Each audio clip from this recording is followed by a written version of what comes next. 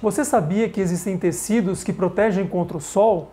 São tecidos específicos, como se fossem protetor solar, mas estão no tecido e impedem que a radiação chegue na sua pele. Então, se você tem uma exposição solar muito alta, se você trabalha no sol, como por exemplo um motoboy, dentro do carro, algum profissional, ou se você fez algum tratamento estético que impede a exposição solar, você pode utilizar esses tecidos no lugar do protetor solar.